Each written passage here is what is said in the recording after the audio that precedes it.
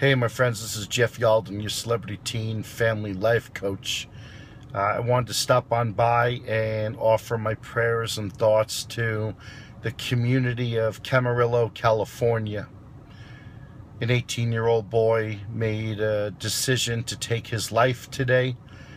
Uh, I'm out here uh, just pretty much next door to Camarillo, California. I spoke at Thousand Oaks High School in Thousand Oaks, California today, and I spoke to parents and community members tonight on uh, teen depression, teen suicide.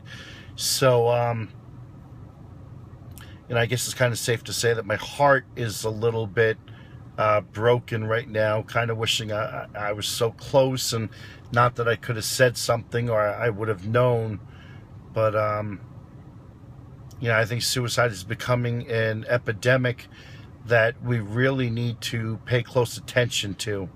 Uh, mental health has a stigma that we need to lose and realize that one of eight teenagers today is suffering some from some type of depression and so there's many reasons and sometimes notes aren't left behind and there's there's questions that may never be answered and so, uh, to the community of Camarillo, to the family of this young man, to the teachers, students, administrators, I just want to say uh, I'm sorry.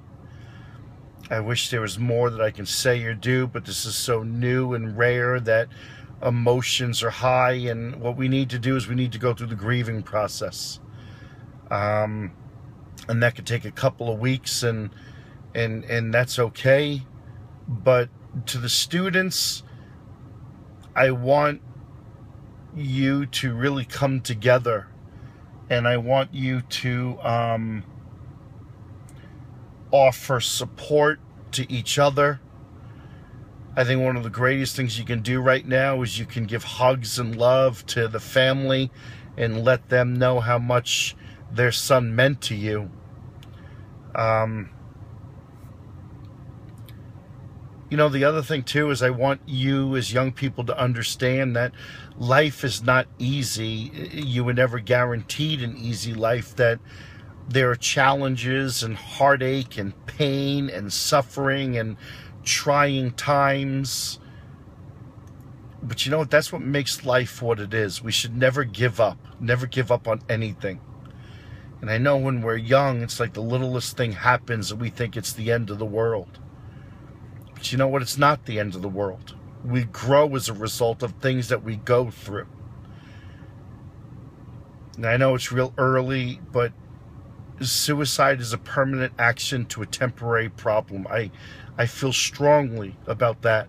So I want to encourage each and every one of you that when there's something wrong in your life and you need someone to talk to, lose the ego, open your heart, and find adults who you trust, whose opinions you value, people that you respect, and don't be afraid to talk to them.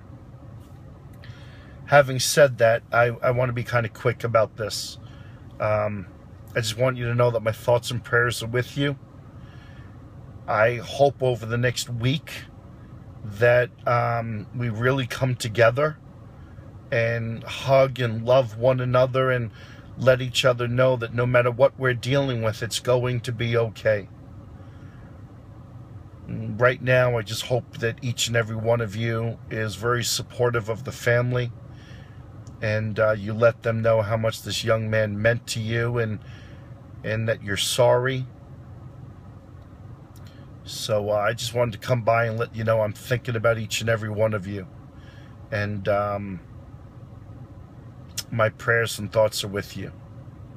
May God bless you, and may we learn from this and uh, we we move forward. So um, I'm just thinking about each and every one of you. Thanks for listening.